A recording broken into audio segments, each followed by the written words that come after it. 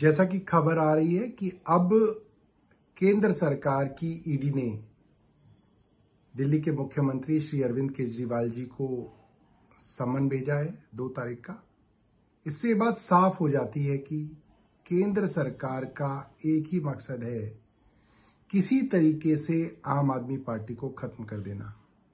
और इसके लिए वो कोई कसर नहीं छोड़ रहे, किसी तरीके से, कैसे भी फर्जी केस बना के मुख्यमंत्री अरविंद केजरीवाल जी को जेल में बंद किया जाए और आम आदमी पार्टी को खत्म किया जाए।